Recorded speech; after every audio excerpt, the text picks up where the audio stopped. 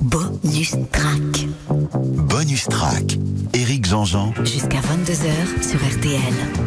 Bonsoir, c'est Bonus Track jusqu'à 22h. Alors, il y a un peu plus de 25 ans, nous étions le, 12 janvier 98, sortait un album culte qui va devenir euh, un album emblématique de ce qu'on va appeler la French Touch. Cet album, c'est le premier album du groupe R, il s'appelle Moon Safari. Et pour nous en parler, justement, les deux membres du groupe R sont avec nous et je suis très heureux, très fier et vraiment très flatté. Merci mille fois d'avoir accepté l'invitation. Bonjour Nicolas Godin. Bonjour. Et bonjour Jean-Benoît Dunkel. Merci d'être là tous les deux. Euh, je ne pouvais pas vous accueillir seul. Il fallait absolument que je fasse euh, le coup de fil à un ami. Et l'ami en question s'appelle Jérôme Soligny. Bonsoir Jérôme Soligny. Bah, bonsoir. Première interview avec ces deux Lascar-là, c'est 98. Ah oui, absolument. Oui, oui, euh, c'était pas loin de la place des Vosges, ouais. Hein, si je me rappelle. Dans les, dans, les, dans les quartiers magnifiques de la rue de Payenne, la rue Payenne. Ouais, c'est ça. Ouais, pour fêter ces, 25 ans, vous repartez en tournée. Alors, il va vous me racontiez Rouen. Euh, je vois le 24 Genève, Milan, Vienne. Euh, il y a Rome, il y a Berlin, et puis l'Olympia de Paris, qui évidemment est, archi complet. Ce sera le, 7 mars prochain. Ça nous amènera aussi pour les Parisiens de nouveau à la Philharmonie. Ça, ce sera au mois de juin. Mhm. Il y a eu déjà une première date. C'était comment euh, cette date des 25 ans? C'était assez, assez chouette, on était plus solide que prévu. Et, et moi, ce que j'ai adoré, c'est que j'ai senti que les, les gens étaient contents d'être là qu'ils se sentaient un peu comme dans, dans, dans leur rêve en fait. Et, euh, et voilà c'est bien passé. On a les lumières ont fonctionné. On a bien joué. On n'a pas fait trop de pain du tout même. Donc voilà on est content. Et euh, j'ai lu dans l'interview que vous avez donnée aux Arocs là euh, récemment que vous, vous souffriez de la de, de, du syndrome de l'imposteur lors de la première tournée. Quand est-ce que c'est parti ça? Euh, c'est parti en ce qui me concerne hein, parce qu'on est tous différents. Moi c'est parti à, à Tokiwoki donc c'était la troisième troisième tournée. Et j'ai enfin assumé d'être sur scène, alors qu'avant, j'étais un peu gêné, quoi. Mais bon, euh, c'est, c'est, c'est, je, je pense pas être le seul dans, dans cette situation. Et Jean-Benoît? Non, moi, j'ai pas trop ce symptôme-là. Je, je pense que, enfin, c'est peut-être un peu arrogant, mais on, on a travaillé pour arriver là où on est, donc euh, voilà. Et simplement, c'est que R est un groupe un peu hum, différent des autres dans le sens où on, faisait essentiellement une musique instrumentale euh, qui marchait énormément à l'étranger. Et donc du coup on a voilà quand on revient en France parfois c'est c'est plus délicat. Il euh, n'y a pas on il y a pas un chanteur comme euh, Mick Jagger ou Iggy Pop qui qui fait le show. donc c'est voilà on a un rapport différent en fait avec la scène. Et on a mis du temps à s'adapter et à l'adapter aux gens. Cet été, avec Jérôme, nous étions au Vieille Charrue et, euh, on a eu vos copains de Phoenix euh, qui sont venus et qu'on aime vraiment beaucoup. Alors, ils sont venus à plusieurs reprises. J'espère que ce sera le cas aussi pour vous maintenant qu'on se connaît. Il euh, y, a ce truc-là de ne pas être prophète à son pays. C'est un peu ça que tu essayes de, souligner, Jean-Benoît? Oui, ben, notre spécificité, c'est que effectivement, le succès de R, c'est comme disait Nicolas, je crois, c'est un peu, un petit peu, mais partout. Donc voilà, ça fait beaucoup à la fin. Surtout beaucoup de kilomètres. Cette première tournée que vous faites euh, tout de suite après la sortie de Moon Safari, euh, euh, c'est un peu un peu dingue pour vous. toujours dans cette interview formidable d'ailleurs que je recommande à tout le monde dans, les Un vous dites on était des, musiciens de home studio et on s'est retrouvés à être à être traités comme des comme des rockstars. Il y avait alors vous, vous c'était Portishead, c'était Massive, Attack, etc. Oui, c'était on n'a pas eu de c'était une époque où les gens cartonnaient avec leur premier album. Donc on n'est pas les seuls dans cette dans cette configuration. Et le premier album de Massive Le premier album de Portishead, le premier album de, Chemical Brothers. Donc c'était une. J'ai l'impression que dans le passé, les gens mettaient peut-être un peu plus de temps pour fabriquer leur carrière. Et nous, euh, on, a vécu euh, à partir des années 90. Euh, c'était le premier album qui marchait et tout de suite. Donc on passait de rien à, fond du jour au lendemain, quoi. Alors, j'ai une proposition à vous faire. On, est ensemble jusqu'à 22h. Je vous propose d'écouter votre album. Je vais tout de suite dire à vous, les auditeurs qui adoraient cet album, euh, on va parler dessus euh, quand l'émission sera finie, vous avez le droit de couper la radio et, de l'écouter sans, sans, sans, que personne parle dessus. Mais on va essayer de vous extirper des informations et de vous replonger dans la création de cet album. Et avant qu'on lance la première chanson, et ça va tourner ensuite, et on va parler dessus, Jérôme. Euh, toi, rock, euh, rock critique, 1998, quand tu reçois ce disque et, que tu décides d'interviewer les garçons, euh, qu'est-ce que qu'est-ce que tu penses de cet ovni? Ah, Moi, j'en pense le plus grand bien, mais je suis tout seul à en penser le plus grand bien pratiquement à l'époque. Et en fait, je vais les rencontrer en léger différé. J'ai relu l'interview de l'époque et l'article de l'époque ce matin avant de venir. Et en fait, j'arrive en, en, m'excusant, en disant je suis désolé, euh, je viens que maintenant. Et en fait, euh, Nico dit mais c'est pas grave, euh, nous on est quand même contents. Et rock et folk, etc. Et à l'époque il y avait Philippe et, aussitôt Nico il embraye sur l'importance de Philippe par rapport à Sex Machine, la première fois qu'on avait vu Prince, etc. Enfin voilà donc. mais non, moi j'ai moi j'ai adoré tout de suite. Hein, j'ai écrit. Enfin je peux pas. Mais qu'est-ce qu'il a de cet album Qu'est-ce qu'on peut expliquer Évidemment vous allez nous en parler messieurs, mais qu'est-ce qu'il a de différent cet album? Bah c'est-à-dire que déjà c'est la musique de R, c'est la musique de R quoi. Il y a des gens qui font du rock, il y a des gens qui font du blues, et gens, hein, eux ils font du R. C'est ça, les groupes qui ont été mentionnés tout de suite là, c'est pareil, c'est des, groupes qui ont vachement de personnalité. Mais c'est ça qui était, frappant. Et puis c'est le fait que ce soit, comme ils se font faire remarquer, euh, en grande partie instrumentale, euh, chanté entre les mots, je dirais. C'est pas des, enfin voilà, c'est pas des chansons euh, à, part entière, mais néanmoins c'est super mélodique. Enfin, non, non, il y avait, un, enfin, on pourrait écrire un livre sur Moon Safari, donc on va peut-être pas le faire tout de suite, mais il y avait énormément de, de raisons pour pour trouver que c'était un album qui allait marquer et qui a donc marqué. Allez, on pose le disque sur la platine, c'est parti.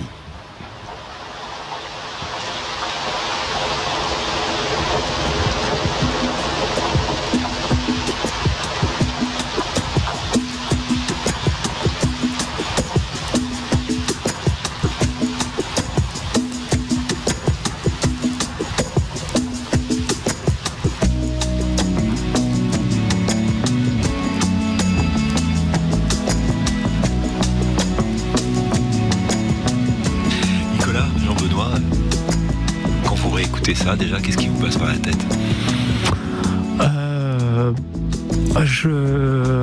Plein de choses, plein de souvenirs, notamment ce qui est marrant chez les artistes, il y a certains morceaux dont on se rappelle euh, la gestation et d'autres on, ne se rappelle pas du tout comment ils sont ils ont apparu. Et celui-là, je me rappelle d'une, euh, enfin parce que là le morceau commence avec un riff de basse. Et, je me rappelle, j'avais fait tourner la boucle, j'avais samplé la, la, boucle de batterie sur un vinyle et puis j'ai joué de la basse par-dessus. Et là, je joue ce riff et je dis, oh, c'est génial, ça tue, c'est énorme et tout. Enfin, je me monte la tête euh, dans ma, dans ma, dans ma piole. Et là, je, branche le sampler je, pour sampler ce riff. Et là, au moment de, le sampler, je ne me rappelle plus ce que c'était. Et là, j'étais en panique totale. Et euh, je me suis dit, merde, j'avais une super idée. Et, je l'ai rejoué une fois, deux fois. C'était pas, pas le même riff, ça collait pas. Et tout d'un coup, au bout de cinq minutes, euh, en insistant, tout d'un coup, j'ai retrouvé l'idée de base. Et là, je l'ai vite samplé.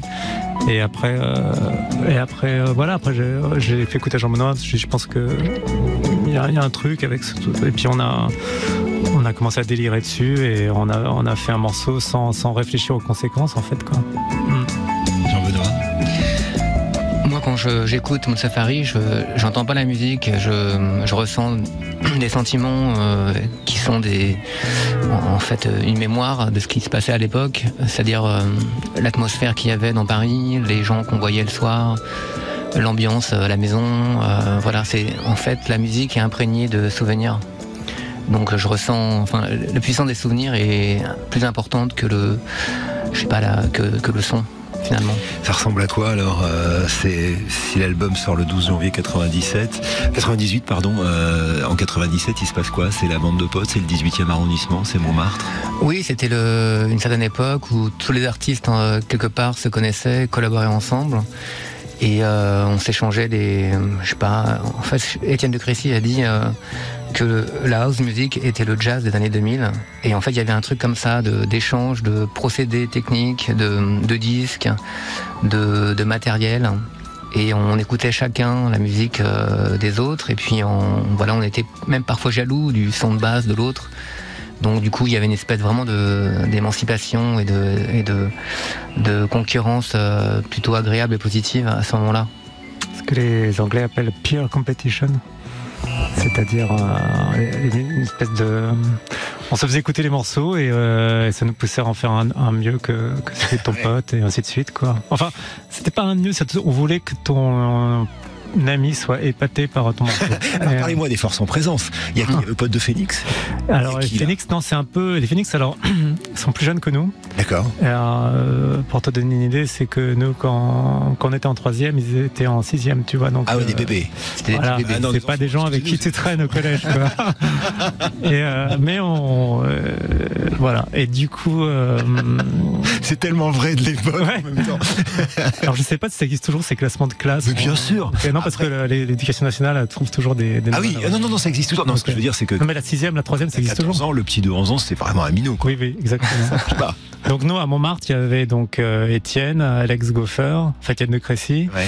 Il y avait euh, les Daft, il y avait euh, il y avait donc euh, euh, notre euh, un peu notre mentor de l'époque, Marc Ducrot, qui était qui avait trouvé ce travail chez Source et c'est lui qui nous a poussé à faire des, des morceaux pour les faire écouter chez Source, qui était le label de Philippe Ascoli.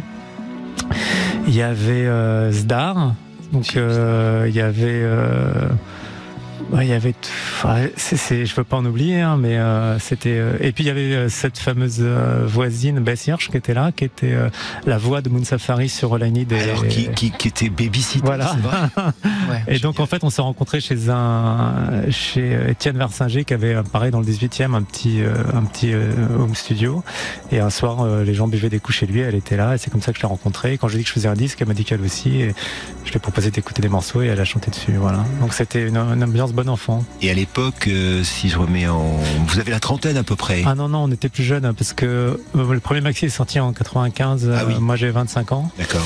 Et il faut savoir aussi que dans, son, dans ce petit monde, on avait vraiment l'impression d'exister. On, on était content euh, quand on avait un. Enfin, par exemple, les gens faisaient des morceaux, euh, gravaient un, un white label.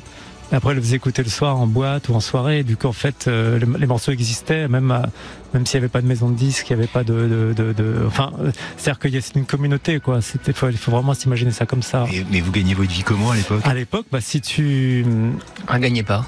si tu, euh, non, mais après, il, Non, mais c'est vrai, enfin, tu vois, c'est. il a commencé à s'organiser ce, ce, ce- ces labels indépendants où euh, tu, tu gravais des maxi et tu les- t'en vendais 500 et euh, ça suffisait à payer le loyer. quoi. Ouais. C'était notre époque. Moi, j'ai des profs de physique dans un collège.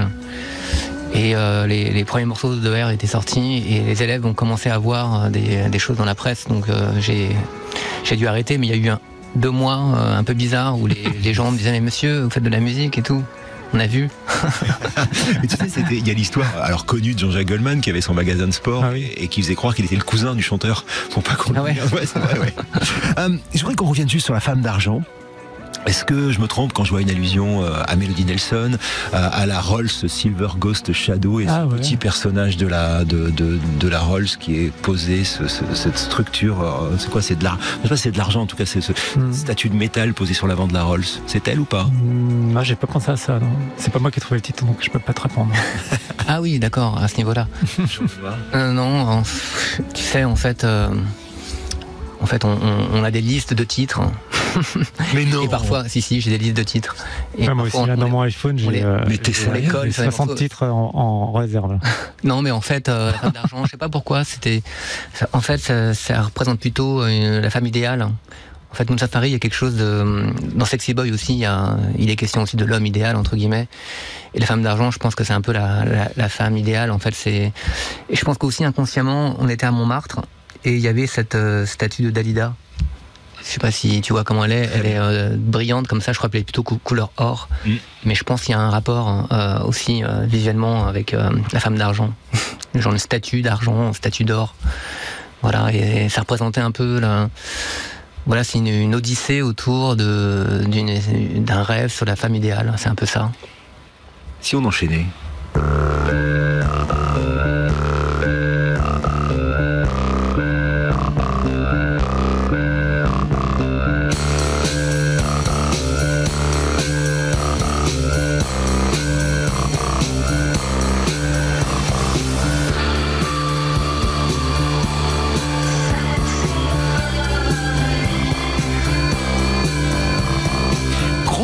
Angleterre, gros tube en France. Mhm. Euh, vous l'avez vu venir celui-là ou pas? Oui et non. C'est-à-dire que quand on l'a fait, euh, on s'est dit quand même que c'était assez catchy et qu'il y avait un potentiel, mais euh, on savait pas comment. Enfin, finalement, un tube, c'est pas le, forcément l'artiste qui le choisit, c'est aussi le public qui décide que c'est un tube. Donc euh, ça, on n'a aucune aucune mainmise là-dessus. Mais on sentait quand même qu'il y avait une énergie et surtout au niveau du titre, euh, le, le mot en fait sexy boy euh, rentrait euh, et interpellait beaucoup. Et euh, heureusement qu'on appelait ça sexy boy et, et pas sexy girl parce que ça aurait été, il y aurait eu moins d'impact. Je comprends. Nicolas Ouais, Justement, tu parlais du, du syndrome de l'imposteur. Typiquement, sur ce morceau, j'avais fait la batterie et j'avais été justement, c'est mon ami Étienne Versinger qui avait ce petit studio à Montmartre et je, j'avais enregistré le, le rythme sur une cassette, donc le son était euh, bien, bien abîmé déjà, mais c'était ça qui faisait le charme. Et quand j'ai su qu'on allait, ça allait devenir un disque, j'ai eu un complexe. Je me suis dit, mais je peux pas, euh, je suis pas batteur, donc je, euh, c'est un peu gênant. euh, Ça va passer à la radio. Et alors donc on a, on a appelé un, un batteur super, super bon qui s'appelait Marlon. Et il est venu faire la batterie pour refaire ce, ce rythme de rien du tout que j'ai-. Et en fait, parce que psychologiquement, j'arrivais pas à assumer que c'était moi qui fasse la batterie sur ce titre. Donc ça, c'était, c'était le genre de choses auxquelles justement le, l'amateurisme, quand tout d'un coup va devenir un succès, c'est, la chose que j'ai mal vécue. Tu vois, je, je, Oui. je savais pas comment gérer ça. Voilà. est-ce que quand tu le réécoutes, tu, entends des défauts? Tu te trouves amateur sur cet album-là? Aujourd'hui eh Bah déjà ouais par exemple les voix moi je chante faux et puis on les a du coup au moment de mixer on a pris euh, un petit moment avec euh, Stéphane Bria le, le mixeur et le pour enregistrer les, les voix de manière juste et quand ma voix est devenue plus juste on avait perdu le charme par exemple. Et du coup on a repris la, la voix ma voix fausse de départ qu'on avait fait dans, dans mon appartement à Montmartre. Je voudrais qu'on écoute ça là. Sexy Boy ah ouais ça c'est une euh, c'est une talkbox. C'est un Moog un mini Moog passé dans une talkbox alors c'est pour les auditeurs je sais pas ce qu'ils vont savoir ce que c'est Talkbox, c'est euh, Jérôme. alors Ah, il faut dire. fil à un ami. donc en fait tu Euh, euh, tu prends un son de synthé Ouais. Euh, Ce son de synthé va dans une boîte. Et la boîte, un tuyau ressort de la boîte et tu mets le tuyau dans ta bouche. C'est Peter Frampton. Voilà, exactement. et, le- donc le son du Moog euh, se retrouve dans ta euh, cavité buccale et avec ta- la forme de ton de ta, de ta cavité buccale, tu, tu transformes le son, tu fais comme ça et ça et ça, ça, ça fait ça fait ça. Ça là. Ça fait, ça fait très mal aux dents. En C'est fait. vrai Il faut, il faut pas que le mal aux dents. faut pas que le tuyau touche tes dents parce que ça fait des ça fait des vibrations. Un peu des comme les vibrations un peu Oui, comme ça les, vibre dans, ta- euh, dans tes dents, dans ta bouche. automatiques. En fait, ça, ça remplace ton l'émission de ton, de ton son. Mais par contre, le formant de la bouche euh, marche quand même. Hmm.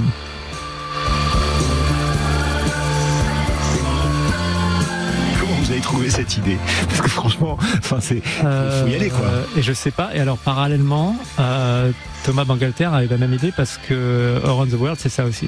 Tout le monde croit que c'est un vocodeur, mais c'est une talkbox. Ah ouais. Ouais, je lance un scoop aujourd'hui. là. Donc quand même, euh, il y avait des choses qui se passaient quand même sur cette Ouais. butte Montmartre. Ouais, bah oui, mais, euh, mais comment ça se passe vos séances de travail? Vous êtes dans ce petit appartement à Montmartre tous les deux? Avec euh, je tiens, euh, c'est ma pauvre voisine, elle a, elle a vraiment souffert. Mais elle m'aimait bien, mais elle, a- elle en a vu parce qu'on enregistrait avec des micros, le Fender Rhodes notamment. La, on avait un ampli guitare et tout passait dans l'ampli, les orgues, les, les- même ma basse. Ah, la basse, ça faisait du bruit. ça faisait du bruit parce que c'était un petit immeuble Montmartre 3, tu sais, un petit, immeubles en, en pierre, en pierre de, enfin en plâtre, là, je sais pas comment on appelle ça. euh, et c'est c'est très, euh, le son passe partout.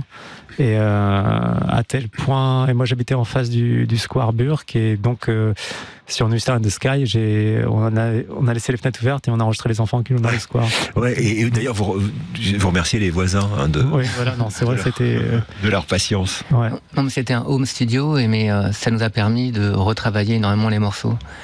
C'est-à-dire que euh, l'avantage par rapport à, une- à un, un processus classique d'enregistrement d'un album, c'est qu'on nous on a travaillé pendant un an et demi en fait sans arrêt les morceaux, donc ils sont ils sont passés de maquettes à, à des versions euh, plus plus élaborées comme ça. Et on a on a on a été dans un studio professionnel seulement une semaine ou dix jours avant euh, le mixage.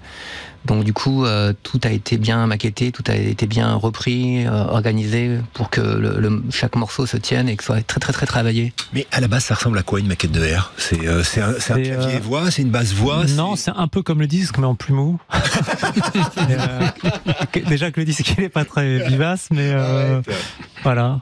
Parce qu'en fait, les pistes sont là, mais après le, le mixeur euh, passe ça dans des compresseurs, des, des exciters, des, donc il dynamise un peu tout, mais à la base, oui, on, quand tu écoutes les maquettes, tu es un peu inquiet quand même. Tu te dis, voilà, là, c'est un peu mou tout Mais ça. une bonne maquette, en fait, c'est euh, c'est un morceau de musique avec euh, des super intentions, des, des super sons et avec plein de fautes et un son pourri. En fait, c'est ce qu'on veut obtenir.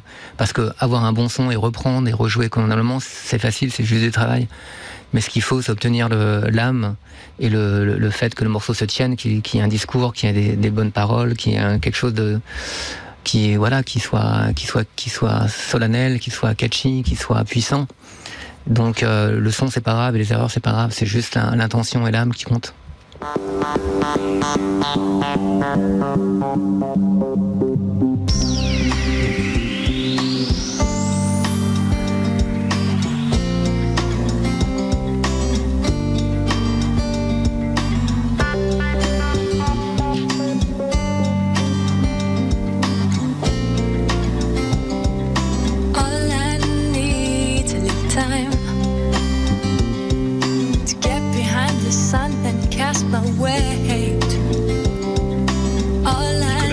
Qu'est-ce que t'entends.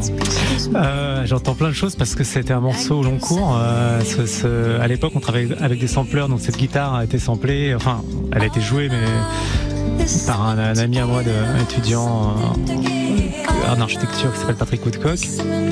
Et à partir de cette boucle, on a fait plein de morceaux. Et, euh, quand j'ai rencontré Bess Hirsch, je me dit, tiens, si on utilisait cette boucle de guitare pour faire une chanson un peu folk, un peu même avec. Parce que je trouvais qu'elle avait une voix qui ressemblait à, à la chanteuse des Carpenters. Et euh, voilà, donc c'était euh, c'était une chanson que euh, là c'est peut-être la troisième version de, ce, riff de guitare en fait quoi. Qu'est-ce que t'entends, toi, Jean-Benoît? Euh, Ou à quoi tu penses euh, Intéressant de savoir ce que vous pensez quand vous écoutez ce morceau. non, mais je me souviens des séances euh, à Gang quand on a juste avant de mixer, on a repris ce morceau et donc Bess a chanté. À un moment, euh, je crois que elle avait fait une super prise et Alf, l'ingénieur, a loupé son intervention et donc elle, a paniqué et elle nous a engueulé. Mais euh, sinon, je, en fait, je suis surpris de, de la qualité du son à chaque fois parce que c'est c'est super super doux. Et je me dis, je me revois aussi euh, euh, à plus 30 au studio avec euh, Alf qui, mixait. Et, je me souviens à un moment, en fait, je voyais cette super belle table de mixage complètement argentée là, avec plein de, boutons, plein de voyants. Et en fait, j'ai mis mes, il faisait hyper froid, et en fait, j'ai mis mes mains au-dessus de la table et je chantais en fait la chaleur de la table et toute cette énergie. Et je me disais, mais en fait, notre musique passe dans cette machine géniale qui donne de l'énergie, qui transforme, qui adoucit notre musique. Donc du coup, j'étais, euh, voilà, j'étais assez fasciné par euh, l'ambiance du studio. Vous parlez des studios de site Gang, euh, qui est un studio rive gauche, si je dis pas de bêtises. Plus 30, qui est Ouais. un studio pour les mix. Et puis il y a aussi Abbey Road quand même, vous êtes allé faire des cordes. Ah oui pour les cordes oui oui. Ouais. Ouais. Des Ça c'était stressant parce que ça durait trois heures, euh, il y avait un chronomètre. Et, Ah oui. euh, Ah oui, c'est c'est l'antithèse de ce que vous aviez fait sur tout l'album. du ouais coup. voilà. Mm. Donc euh, moi j'étais un peu en panique et puis euh, c'est pas un, c'est pas après quand j'ai été à l'épreuve du feu et que j'avais vécu ça. La deuxième séance de violon pour l'album suivant était beaucoup plus agréable parce que je, je savais comment ça fonctionnait le- l'enregistrement d'une séance de violon. Mais... C'est- pas le sujet de l'émission, mais l'album suivant, c'est quand même pour Virgin Suicide, c'est ça, on est d'accord? Ah oui, non, Ouais. celui-là, euh, oui, non, ça c'est le faux second album. parce que c'est la vie du film. Non, je parle du vrai second Ah oui. album qui était 10 milliards. Parce que Sofia Coppola écoute cet album et elle dit euh, Moi, je veux que cet album ce soit l'illustration de mon film. Et, et vous, vous vous dites Non, non, on va vous faire de la musique. euh. Bah, C'est-à-dire qu'en fait, on trouvait le sujet du film un peu dramatique, donc on a fait une musique beaucoup plus sombre. Et c'est vrai, effectivement, elle aurait aimé une musique un peu plus euh, dans, dans les Spring Moon Safari, je pense. Mais euh, le- premièrement, nous, on a- on a- on- on ne s'est- on ne s'est jamais répété. Euh, Enfin, tous les albums sont différents. Et deuxièmement, on trouvait vraiment l'histoire très très dure quand même. hein. Ouais. Et de Virgin Suicide, c'était parce qu'on a lu le livre, parce que le film évidemment n'était pas encore fait, donc c'est très c'était très dur de se mettre dans la tête de Sophia, de voir ce qu'elle avait en tête, parce que le livre en, en question était une série de cinq jeunes filles qui se qui commettent un suicide. Donc euh, c'était euh, je sais pas, la musique qu'on a sortie était euh, quand même assez triste parce que c'était des idées noires quand même. Et mais bon, l'album est super et maintenant avec le recul, on- tout le monde l'aime, il y a aucun problème quoi. On est sur RTL avec Nicolas Godin et, Jean-Benoît Dunkel. Je suis hyper heureux et fier de vous avoir ici et, de parler, d'abîmer votre album. Je m'en Ah, excuse, mais c'est cool. C'est important ce qu'on est en train de se dire. Euh, on va enchaîner avec le deuxième single, euh, qui est un des tubes de l'album, Kelly Watch the Stars.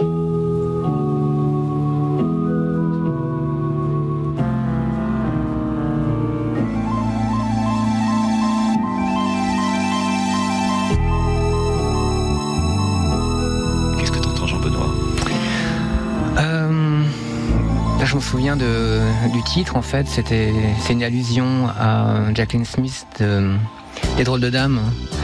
Et dans les Drôles de Dames, il y, a en a une qui s'appelle Kelly et euh, on était assez amoureux d'elle euh, quand on était petits. Donc euh, c'est un peu voilà un hommage à sa beauté.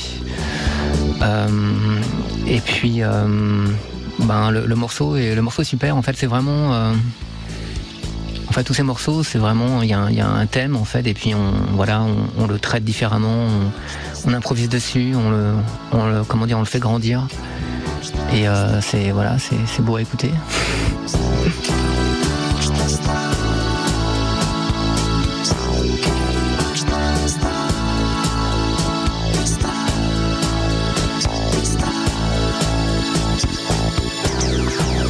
qui me fascine en fait depuis le début, euh, c'est la manière dont vous travaillez.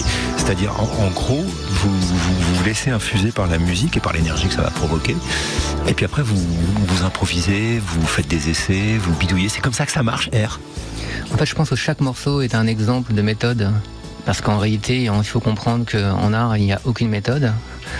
Euh, et euh, il y a des morceaux qui ont été, comment, qui sont faits en un an et demi. Parce qu'il y avait on bloquait sur une partie, et puis finalement, on a, débloqué le morceau à un moment, et puis il y a d'autres morceaux qui ont été faits en trois heures, en fait. Et euh, finalement, euh, en fait, le temps n'intervient pas dans, dans le fait de faire un morceau, c'est c'est l'énergie, parce que hum, par exemple, quand un jazzman ou un, pianiste ou je sais pas ou un interprète joue quelque chose, en fait, dans ses doigts euh, et dans son interprétation, il y a, toutes ces années de travail qui se synthétisent en fait en quelques instants.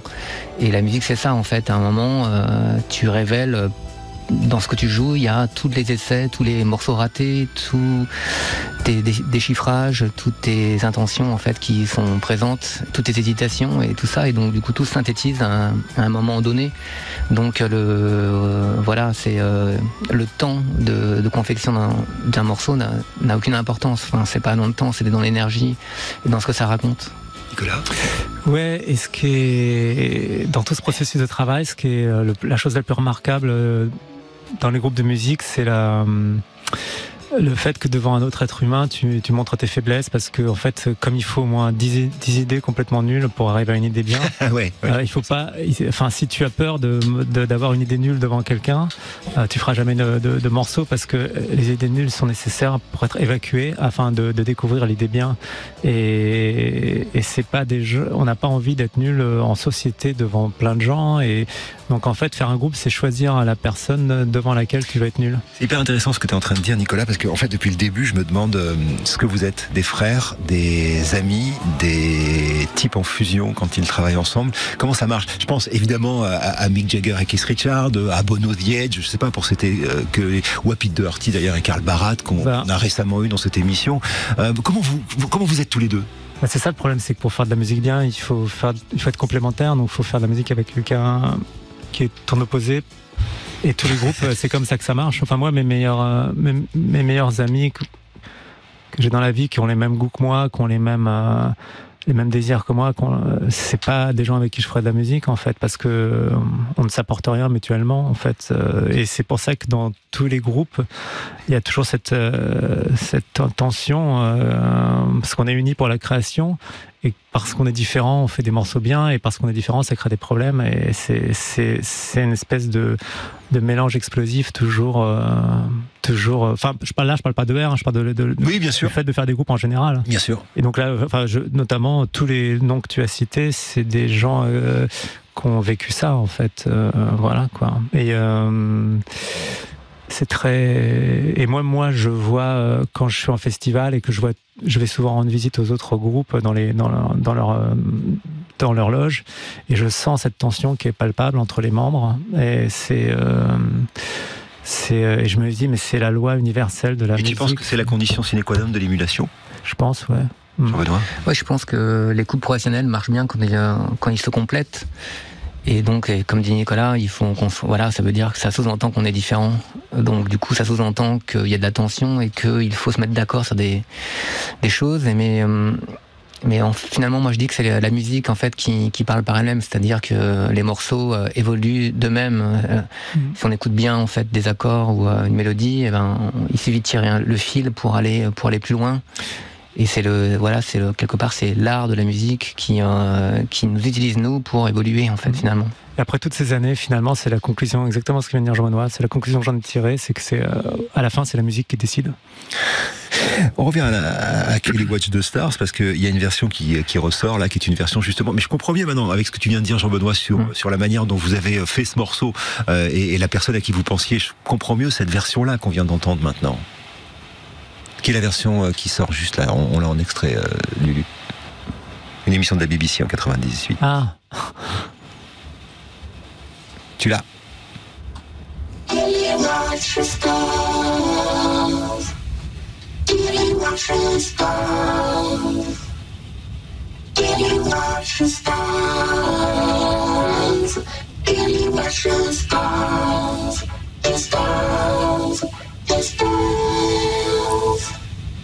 Voilà, à partir de là. Là, c'est plus finalement dans, dans, dans, dans l'intention de départ de la chanson, Jean-Benoît, au fond, quand, euh, par rapport à ce que tu viens de me dire, en tout cas. Ben, disons que non, cette version, c'est la version entre guillemets live avec les Phoenix Ouais. qu'on jouait euh, à la télévision parce que on était obligé de faire de la promo et donc du coup, euh, on n'avait pas de, de groupe, donc euh, on avait Et vous aviez Phoenix en backing band. voilà, C'est la classe. ouais. bah, c'est là, un peu la famille quand même. hein. Bah oui. Donc, euh, mais, euh, mais disons que en fait, ils étaient surtout, euh, c'était un groupe de rock, donc on pouvait pas leur. euh, Enfin, c'était bizarre. Et puis surtout, euh, Moon Safari, on l'avait fini un, an et demi plus tôt, un truc comme ça. Donc, on était dans un autre délire. Et puis, je sais pas. Ça, c'est intéressant aussi. Mm. Je crois que c'est toi qui as dit dans, dans l'interview de, de, de- des Un Rock, tu dis, euh, quand l'album est sorti, on on était déjà quelqu'un d'autre que, que ceux qui l'avaient fait. Ouais, c'est vrai. Et donc, quand vous faites de la promo, mais ça doit être pareil pour un film, au fond, quand j'y pense, t'es plus le même mec que celui qui a fait l'album. C'est Exactement. compliqué, ça. Ouais, c'est compliqué, ouais, c'est vrai. C'est-à-dire que finalement, c'est on, on faisait la promo, on faisait des interviews à propos de Moon Safari et on était déjà loin. C'est pas qu'on n'aimait plus, mais c'est qu'on voulait s'échapper de cet album. Et euh, dans la presse anglaise, on- les gens parlaient souvent de easy listening. Et en fait, c'était un terme assez péjoratif parce qu'il y avait un côté genre musique gentille, musique facile. Musique d'ascenseur. Ouais, voilà, musique d'ascenseur. Et euh, je pense que c'est pour ça que dans Virgin Suicide, on a rendu les choses euh, différemment. C'est-à-dire que l'album a- a sonné plus, beaucoup plus dark après. C'est-à-dire Virgin Suicide était beaucoup plus dark que Moon Safari. Et plus rock aussi, plus, euh, comment dire, plus méchant quelque part. Mais parce que, enfin, c'est- Jérôme dit, c'est probablement euh, le meilleur album d'un groupe français qui ait jamais été fait. Euh, les critiques sont derrière vous. C'est marrant, vous ayez besoin de justifier quoi que ce soit. Tu veux dire, euh, quel moment tu veux dire Bah, tu dis musique d'ascenseur, c'est pas du tout de la musique. Non, non, mais c'est-à-dire que je pense que l'album a tellement bien marché qu'à la fin, il y a eu un retour de bâton. Et en fait, au moment où l'album, euh, nous, on avait envie de changer de, de musique, on avait, on avait. Ouais, on a, moi je me lasse hyper vite hein. quand j'étais petit, qu'on installait les jouets. Déjà une fois que c'était à la fin que c'était installé, j'avais plus envie de jouer. Donc euh, moi la musique c'est pareil. quoi. Donc euh, je, je- enfin, genre, on aurait pu, se- enfin, je sais pas, on n'a jamais refait euh, de tentative pour essayer de refaire de la musique comme Moon Safari. Ça nous, ça ne nous est jamais venu à l'esprit. Et ça veut dire, exactement comme Phoenix quand ils font leur dernier album dans, dans le Louvre, ça veut dire qu'à chaque fois que vous avez un nouvel album, vous travaillez sur un nouveau projet, vous changez votre manière Ouais, de faire. on change tout, les, tout le matériel. C'est-à-dire que les, les instruments de Moon Safari ne sont pas sur Virgin Suicide, les instruments de Virgin Suicide ne sont pas sur 10 000 Hz, les instruments de 10 000 Hz ne sont pas sur Tokiwoki. Ouais, c'est, il y a plus de, c'est pas les mêmes synthés, pas les mêmes boîtes à rythme. euh, euh, voilà. Bon, les gars, j'en profite pour classer ma question. Même, même les vocodeurs, on les a changés. On n'a pas utilisé les mêmes voix électroniques sur tous les albums. Donc ça veut dire que là, vous êtes en train de travailler sur un nouvel album Non. Non. Ah non, pas le. Non, mais le problème vient du fait euh, quand justement tu tombes dans une routine artistiquement. Ouais. Et c'est là où tu stagnes finalement. Et peut-être qu'à une certaine époque, on a commencé à faire, euh, à être, de- à être plus confortable, à avoir un meilleur studio, à avoir notre, nos méthodes de travail, etc. Et là, en fait, finalement, euh, c'est pas bien, quoi. Ce qu'ils oublient de dire, c'est qu'ils ont un matos de folie ensemble et, et aussi l'un de l'autre. Donc, il faut pouvoir se permettre de dire attends, là, je vais changer de synthé, je vais prendre ce vieux synthé-là plutôt que ce vieux synthé-là. Euh, ils sont bien équipés, les garçons, et c'est quand même euh, très Mais on important. a toujours les temps euh, associé le, le- le- les- le matériel moderne et le matériel ancien. On a toujours été ouvert à la nouvelle technologie et sans renier.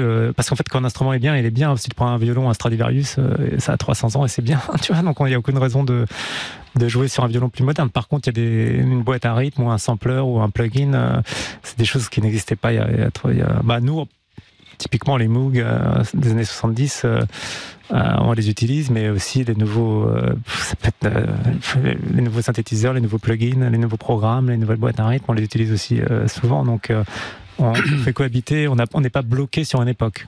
Allez, on enchaîne. Autre morceau de l'album, Moon Safari.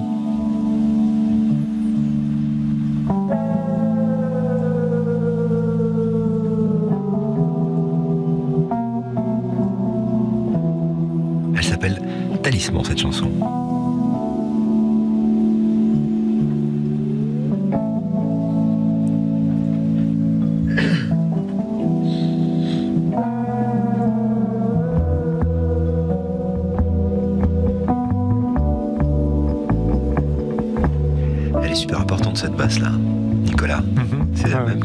Nelson ou pas? Alors non, j'ai fini par m'acheter la même euh, que Melody Nelson, hein, c'est- qui est une basse, euh, une Birds Bison, Ouais. utilisée par Dave Richman.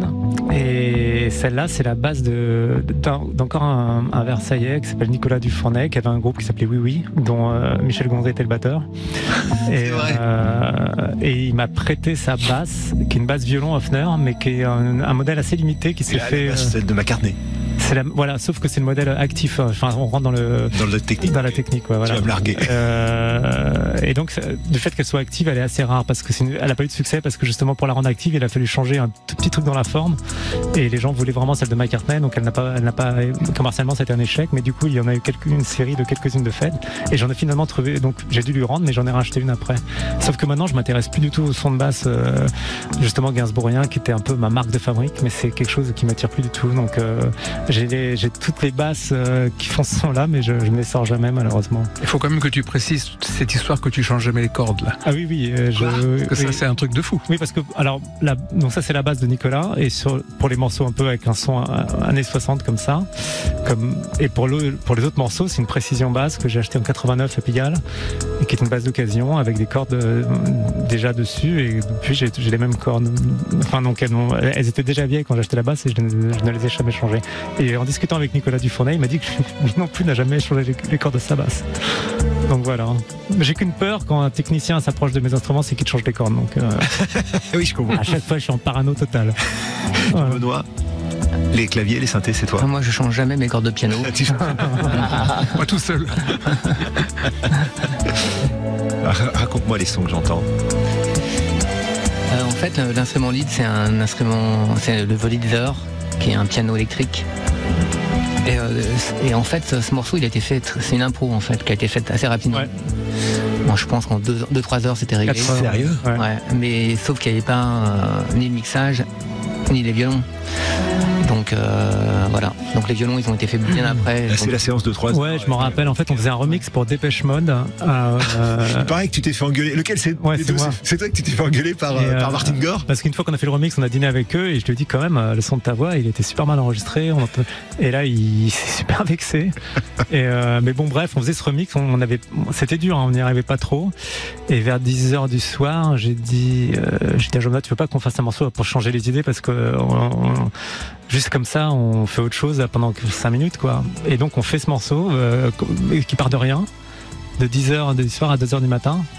Et après 2 h du matin, on a repris le, le remix de Dépêche Mode qu'on a fini. Mais non. Et euh, voilà, donc en une nuit, on a fait comme un remix pour Dépêche Mode et Talisman. Hmm.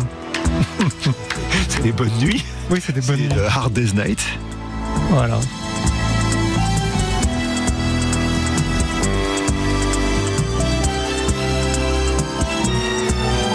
Enregistrées à. Hmm. Ça fait un truc quand on est musicien, qu'on arrive à Béraud de faire des cordes. Ouais, quand même, ouais. Ben, c'est surtout, surtout quand tu vois tous ces musiciens euh, qui sont, qui t'attendent, etc. Et euh, avec David Whittaker qui était l'arrangeur. Et en fait, euh, David Whittaker, il, est- enfin, on l'a épris parce qu'il était, euh, il fait vraiment des arrangements assez, comment dire, pas, enfin, assez fournis, quoi, assez, assez pleins. Et ça a joué un rôle euh, vraiment important dans l'album, dans le sens où ça a vraiment grandi le son. Ça a apporté un cachet euh, de son et de texture euh, qui est, euh, qui est incroyable. Mais je me souviens qu'en en fait, on était un peu paniqué par, le, par les partitions. Il y avait, en fait, il y avait beaucoup, beaucoup de parties, beaucoup de double croches.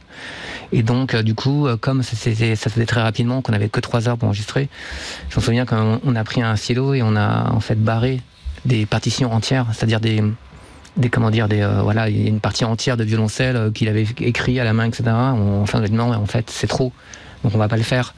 Et euh, il bien qu'il soit anglais enfin il, était, il est anglais donc il est, il est un peu le flegme anglais mais euh, il était on voyait qu'il était un petit peu vénère c'est-à-dire ça se concrétisait par des petites rougeurs au bout des joues. C'est-à-dire, il y a une sudation plus prononcée en fait et je voyais bien qu'il était assez énervé. Et vous avez tenu bon. oui on a tenu bon. Alors,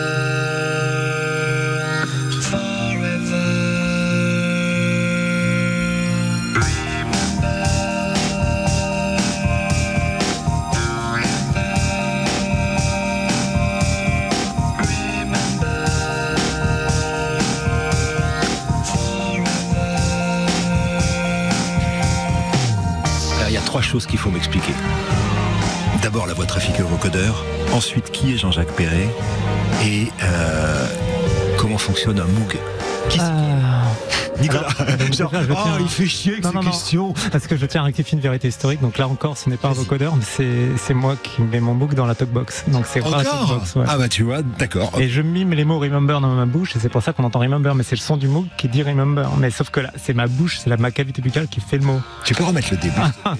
non mais c'est génial de le dire, c'est trop Voilà. bien. Attends, ça. Voilà, Donc là t'as un truc dans la bouche. un tuyau. et dans le tuyau, il y a un son de mot qui va dans ma bouche, et avec ma bouche, je, je mime le mot remember. Et, et, en re- et après, il y a un micro devant ma bouche, et ça enregistre ce qui, ce qui ressort de ma bouche, le son du mot qui était dans ma bouche qui ressort. C'est artisanal, hein. tu baffes partout, hein, t'as mal aux dents, c'est... euh, C'est même dangereux. Ah ouais, tu- d'ailleurs c'est vrai, si tu fais mal au branchement, tout, tout peut exploser. Ouais. Mais non. Si, si, si, c'est vrai. D'ailleurs, là, euh, je m'en suis resservi pour un- mon album solo gaz et j'ai fait exploser les, plombs du, les plombs du studio Ferber.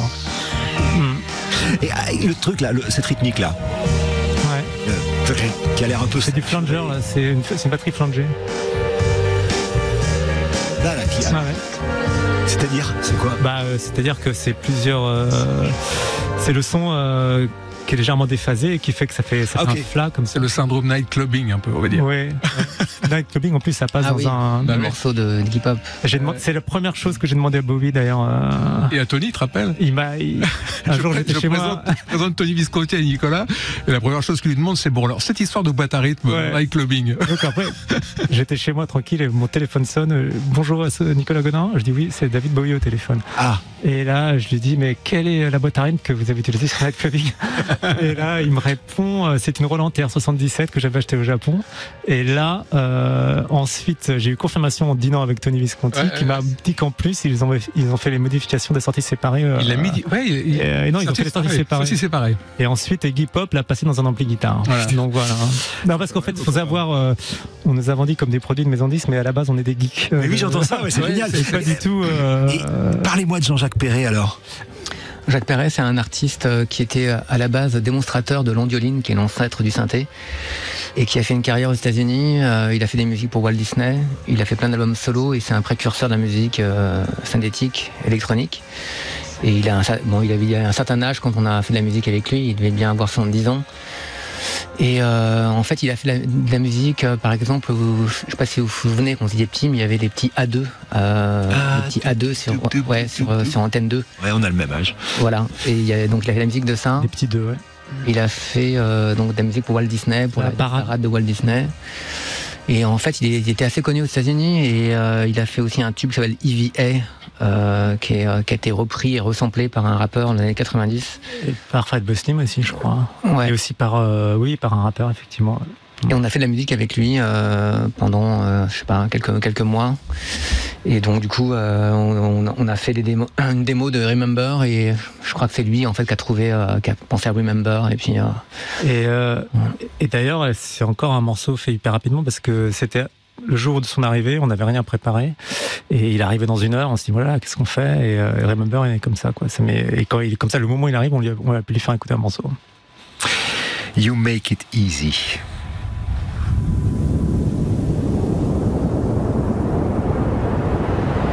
Deuxième et dernière chanson chantée de cet album.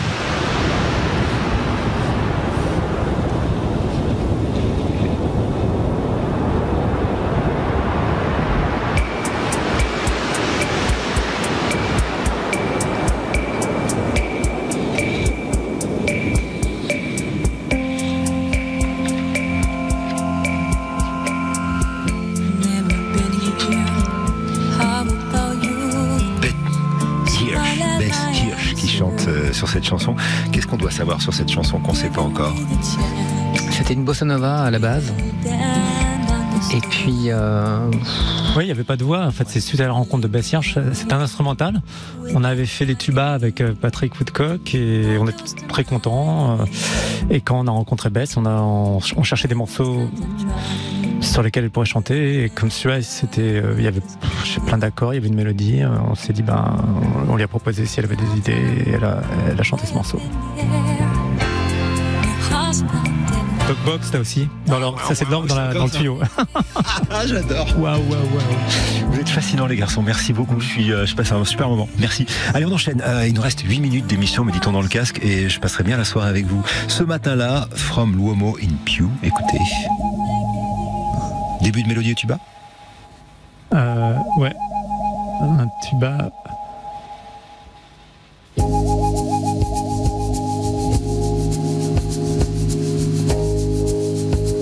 C'est une chanson qui est... hum, C'est un mélange entre les Barbapapa et Everybody- Every- Everybody's Talking, tu vois. Ah un mix entre les deux. Avec la guitare comme ça. Et C'est vrai les Barbapapa, putain, Ouais. je me mets dans la tête. Voilà. Qui l'a fait là Tous les deux, tout le temps, quand, quand ça... quand- de quoi le tuba ou le... Non, je veux dire la mélodie, quand ça... Et, et le fait de me dire Barbapapa et Harry Nilsson, euh, c'est quoi, c'est votre idée de départ? Ouais, ouais, ouais. Et euh, en fait, euh, moi, je, je- j'aime bien mélanger les, par exemple, Penny Morricone et Kraftwerk. C'est ce que je dis dans l'interview des Arocs, c'est-à-dire, euh, je sais pas si j'ai des idées originales, mais j'aime bien mélanger des trucs qui n'ont rien à voir ensemble. Et entre un, un dessin animé avec des barbapapa et un mec, un, un, un, un junkie qui, est un homme prostitué dans les toilettes de la gare de, de New York, je trouve que c'était deux univers. euh, Et, et ça fait du bird baccarat finalement. Ouais. Mais ce qui est marrant, alors je tiens à dire par rapport à la transcendance de la musique, donc on a fait ce morceau euh, dans, dans mon appartement à Montmartre avec un vieux tuba complètement euh, cabossé, dégueulasse. euh, et sauf que quand on le faisait, tu parles de Bird Baccarat, Jérôme, et donc au moment de le faire, dans notre tête, on était Bird Baccarat à Los Angeles, dans les studios Capitol, euh, avec les meilleurs micros du monde, les meilleurs joueurs du monde. Et ce que je veux dire, ça, je rigole pas, ça passe dans la musique. Et en fait, quand les gens entendent ça, euh, mais c'est pas une blague, c'est vraiment vrai. C'est-à-dire que le, ton fantasme, si tu le fantasmes, Ah oui, je vraiment, comprends, ça s'entend. Ça s'entend. Ouais. Euh, ton, ton- la force de, qui transcende les choses passe dans les micros, dans les jacks, dans le, dans le, dans le sampler. Et en fait, euh, et en fait, les gens quand ils mettent le morceau chez eux, ils ont l'impression d'être à LA. C'est vachement la force de R, ça. Parce Ouais. que ce que tu dis là, c'est ce que j'ai vu sur scène à Rouen l'autre jour, en fait. C'est qu'après toutes ces années, si je peux me permettre, en fait, ce qu'on voit à un concert de R, c'est la musique de R. Et ça, c'est super rare, en fait. C'est-à-dire que on vous voit la jouer, mais en fait, on voit la musique. C'est-à-dire que ça, a un- elle a un tel pouvoir euh, évocatif, émotionnel, tout ce qu'on veut, enfin tous ces mots un peu bizarres mis bout à bout, mais c'est ça quoi. Et en fait, c'est ce que tu dis, c'est qu'il y a un truc de persuasion. En fait, Ouais, ouais. Euh, on avait l'impression qu'on était tous les gens qui ont fait de la musique dans leur piole, on pensait qu'ils étaient à Bérode, on pensait qu'ils étaient, Mhm. qu'ils étaient à la Jamaïque ou quoi que ce soit, et finalement, bah, ils y sont. Mais ça revient à ce que disait tout à l'heure Jean-Benoît quand tu parlais de poser euh, ta main sur la console et de sentir Hum. le son et la chaleur de tout cela. En fait, au fond, c'est c'est cette intention-là qui, euh, qui Ouais, fait de la musique. Moi, je pense que en art ou en, au cinéma ou en musique, en fait, que les, je vais être un, peu violent, mais les idées ne valent rien, en fait. C'est-à-dire que c'est c'est pas une question d'idée, c'est une question de réalisation. Je, te donne, je te donne un exemple. euh, Si euh, je te sors un scénario où je te dis que euh, j'ai une super idée de film et que le scénario c'est un, un- c'est un camion qui poursuit une voiture, euh, tu vas dire c'est pourri comme idée en Sauf fait. c'est Spielberg. Voilà. Mais quand Spielberg fait le, le film, en fait, c'est sublime. Ouais. Ou alors quand c'est une attaque de requin, Oui. tu vois.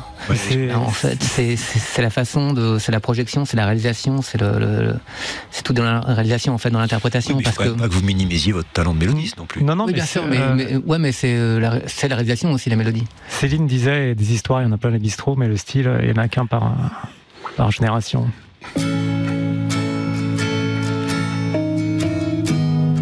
C'est sur cette chanson qu'à la fin, il y a les enfants Les enfants, ouais, du Square Burke. Face à ton appart. Et là encore, la talkbox qui va faire waouh waouh waouh, tu vas voir. Dans la, la prochaine mesure. Qui joue la guitare là C'est moi, avec une. euh, C'est ma- ouais, j'ai toujours le- cette guitare, elle est magique. Elle, elle fait disque en fait, parce que voilà, les instruments, il y a des très bons instruments, il y a des instruments qui font disque. Voilà, ça c'est la talkbox. en Et donc nous, euh, moi quand j'écoute un instrument, euh, je me dis est-ce qu'il fait disque ou pas? Et ben par exemple, euh, Attends, qu'est-ce que tu veux dire quand il fait disque? bah, que quand tu enregistres l'instrument, et ben ça sonne comme un disque. J'ai compris. Et, par- et tu peux avoir un super beau Steinway et parfois et tu l'enregistres. bah tu parlais de gang tout à l'heure. Quand tu joues sur le piano, tu dis mais c'est quoi C'est une basse ce truc? Et dès que tu l'enregistres, tu dis ah ouais d'accord, ça tu sonnes comme Michel Berger quoi, tu vois. Et il y a des instruments qui font disque et pas d'autres. Ça c'est la flûte du Mélotron, c'est le même son que Strawberry Fields Forever, tu vois. Le premier sampler de l'histoire de la musique.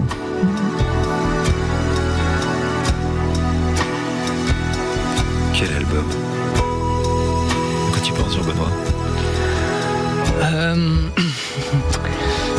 ce morceau a été fait. euh, Enfin, on, on cherchait un titre et donc du coup, New Star in the Sky, ça, voilà, c'est le. J'avais eu un enfant un an auparavant.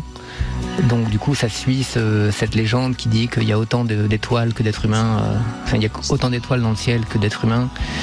Et que quand un, un humain apparaît, une histoire, euh, une étoile aussi apparaît en même temps. Donc euh, voilà, c'est un peu, c'est assez poétique. C'est pour ça qu'on dit euh, My Baby Blue aussi. Et je trouve que la basse est mixée trop fort sur ce disque. Ça m'a traumatisé pendant plusieurs années. Pourquoi? Attends. Ah ouais Voilà, là, c'est trop fort. Et euh, Mais bon, non, ça va, j'arrive à vivre avec. J'ai eu du mal pendant un moment. C'est quoi le clavier que tu joues? Là, il y a du piano, il y a du Rhodes, comme à peu près sur tout l'album. Ouais. Et pour faire Ouais. comprendre aux auditeurs qui ne sont pas des C'est un musiciens, piano qui fait disque. Attention. non mais il y a combien d'instruments juxtaposés là sur une prod Ah, comme celle-là bah, il n'y en a pas plus que 8 parce qu'on avait que 8 pistes avec Moon Safari. Donc Et- euh, Moon Safari c'est 8 pistes. Ouais, après tu peux faire comme les Beatles, mixer. Non, nous on n'a pas fait ça. On a, on avait que 8 pistes. ouais. Mm. Mais il n'y en a pas tant que ça, il y en a, il y a- il y en a, il y en a C'est le nombre vide. qu'il faut. Ouais, nos morceaux sont. Quand tu regardes sur un Pro Tools, mais t'hallucines quoi. D'ailleurs, c'est un truc qu'on dit à peu près à chaque fois qu'on reçoit quelqu'un qui a, dont on réécoute un album qui a été fait il y a plus de 20 ans, c'est que ça sonne encore vachement bien. Il y a plein de fois où c'est pas vrai, mais là, c'est quand même vrai. C'est-à-dire que l'album, il a absolument pas vieilli, quoi. Mm. Mm. Comme nous. C'est ça. on l'a dit tout à l'heure déjà, ça, mais hors antenne. Allez, on va arriver au dernier morceau de l'album euh, euh, qui s'appelle Le voyage de Pénélope. L'album va sortir simultanément dans 40 pays, succès mondial, 2 millions d'albums vendus. 3. Pardon. Enfin, si je Non, me permets. génial. Génial. Génial. Est-ce que c'est vrai que le nom de code c'était The Dark Side of the Moon Safari Non, ça c'était Virgin Suicide. Ah non, ça c'était 10 milliards, je crois. Euh, je sais plus, mais euh, parce que après Moon Safari, on a fait de la musique plus sombre et c'était ça la blague. ouais. Mm. Qu'est-ce que tu penses quand t'écoutes ça, Nicolas Bah, c'est le piano, justement, le fameux piano de, de Michel Berger à Gang. Et parce que j'ai. Je l'ai refait ce jour-là. Et je me rappelle, euh, Alex Goffer euh, était dans la pièce d'à côté, il faisait un mastering. Il est passé dire coucou. Et j'étais en train de faire ma prise de piano. Et je sors du. Je finis, je ouvre la porte du studio et je le vois. Je dis, ah, Alex, ça va? Il me dit, ouais, dis donc, t'as fait des progrès au piano. donc, ces petites anecdotes. euh, et, je lui ai répondu oui, parce que maintenant, c'est mon métier, tu sais. Et euh, donc, euh, j'étais. Voilà, force fait loi. Jean-Benoît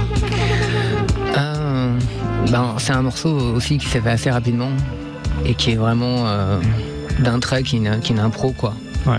C'est quasiment, euh, c'est pas du jazz mais quasiment quoi. Notamment le, le Moog euh, que j'ai fait dessus en fait, c'est vraiment ça a été fait en deux fois quoi. Ouais, en une prise même. En une prise même. Et Ouais. c'est euh, c'est un de mes morceaux préférés à jouer là, sur la dernière tournée. Ouais. Alors tournée, parlons-en. On va hélas se quitter là-dessus. J'en reviens pas que l'heure soit passée si vite. Je suis très heureux de vous avoir rencontré. Vraiment, merci. C'était un super moment. Merci Jérôme. Bah, merci de nous avoir d'amener- invités. D'amener tes amis. Bah oui, dis donc. J'ai dû insister. hein. Et, euh, et- Non, et, euh, non, mais rendez-vous sur scène alors à l'Olympia de Paris. hein, ce sera le, le- le 7 mars prochain. Vous êtes deux plus un batteur. Exactement. Ouais. Ouais, ça veut dire que ça sonne un peu plus rock. Ouais. Ouais, c'est minimal, mais c'est assez expressif. Parce que je pense que les, gens ont besoin de nous voir jouer et ont besoin de sentir euh, la, la musique voilà, telle qu'on la ressent nous. Parce que finalement, on joue sur tous les albums, donc c'est important de garder cette personnalité très forte. Je vais vous poser une question conne. Euh, vous êtes devenus des stars euh, en un album. Mm, ouais, non, star, c'est un grand mot quand même. Ouais, mais, mais la célébrité, ça, ça doit être un truc mais incroyable quand ça on n'est pas, on n'est pas célèbre, on a de la notoriété, c'est différent. Mais quand même. Non, mais célèbre, culte. les gens qui passé culte en un album. Oui, mais je suis c'est pas- sérieux. Les gens célèbres, nous on en a rencontré, c'est des gens qui peuvent pas aller au restaurant, qui peuvent, quand ils sont, ils vont à la plage, ils se font, ils se font photographier. euh, euh, alors que la notoriété, c'est les gens qui s'intéressent à ton art, qui, te, qui savent qui tu es. Tu vois, c'est, c'est, c'est deux choses complètement différentes et c'est super agréable la notoriété. Moi, je, à chaque fois que je travaille avec des gens célèbres, je les plains. Franchement, euh, c'est, trop. euh.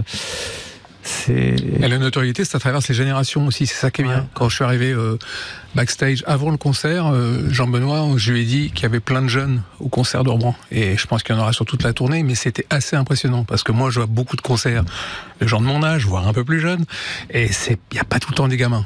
Et là, il y en avait quand même pas mal. Et donc, c'est plutôt vachement bon signe. Et puis une tournée mondiale, ça c'est la pure classe, hein, parce qu'il y a l'Olympia évidemment, euh, ce sera le 3 mars. Bon alors je sais pas combien, combien on a mis 10 minutes à remplir la salle, on est d'accord hein Ouais c'est ça, ouais. Euh, et puis il y a Londres, euh, je vois le Royal Albert Hall, Barcelone, Rome, euh, Sydney, Sydney. l'opéra. Mais l'on- d'accord, mais Royal Vous avez une salle préférée les gars ou pas? Ouais, moi justement, c'est pour ça que j'ai dit Sydney. Je crois que c'est ma salle préférée, mon opéra de Sydney, euh, qui est dans la là, de Sydney. J'aime bien le Hollywood Bowl à Los Angeles. Et mon autre salle préférée, euh, j'aime bien l'Olympia de Dublin, qui est, qui est un théâtre à l'italienne, mais dans lequel il y a une. euh, je sais pas, il y a quelque chose. hein. Il y a, tu, tu as le public vraiment frontalement, c'est impressionnant. Quoi. Mm. Moi j'aime bien les petites salles parce que euh, quand on, est, quand on a tourné avec Monde Safari, euh, tu vois, c'était avant le, le 11 septembre, il n'y avait pas cette paranoïa euh, totale. euh, donc du coup, il n'y avait pas de barrière en fait entre nous et le public. Et je me souviens que quand je jouais, il y a des gens qui me touchaient les pieds, tu vois, ou qui Ça pouvaient, me- qui pouvaient toucher mes synthétiseurs quand je jouais. Et il y a une promiscuité comme ça très forte et c'était les meilleurs concerts. Parce que les, les gens étaient jeunes, ils étaient hyper contents de nous voir euh, et euh, on pouvait en fait vraiment les sentir, les voir et, et on, et on les retrouvait backstage. euh, parfois ils attendaient des heures euh, voilà, pour nous choper entre le bus et la salle et donc il y avait un- vraiment un contact. Tandis que maintenant, euh, ben, avec l'industrie des festivals, euh, voilà, on est, tout est fait pour euh, que le, les, les musiciens ne, ne Ouais, rencontrent jamais Ah leur oui. public. C'est de plus en plus déprimant. Euh, tu te retrouves euh, dans ta, dans, ta loge en festival, dans le village d'artistes, et il n'y a personne. Quoi. Donc, euh, en fait. On a euh, Géco. ouais, non, c'est triste. Oui, c'est Ouais.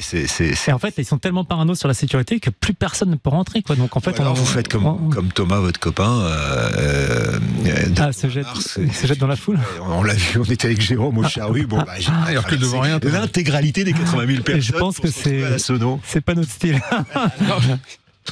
Merci infiniment, merci. Merci. Je sais pas comment Merci dire de nous avoir C'était vraiment cool de vous avoir. Euh, on était avec Nicolas Godin et Jean-Benoît Dunkel. hein, c'est le, le groupe R euh, et cet album culte qui fête ses, ses 25 ans, Moon Safari. Euh, Il y a aussi une, alors un, un picture disc qui va sortir le, le 20 avril 2024. Je le précise, c'est Kelly Watch de Star Oui, avec des remixes. Pour le Record Store Day. Mm. Dont, ouais, dont un avec vos copains de Phoenix. C'est pour ça qu'on en a beaucoup parlé. Je suis hyper touché que vous ayez accepté de venir. Revenez quand vous voulez, messieurs. Et c'est Merci. un super moment. On, on se quitte. Euh, je vous donne rendez-vous demain, 21h, 22h, sur RTL pour Bonus Track, le temps de me remettre de mes émotions. Ciao. Ça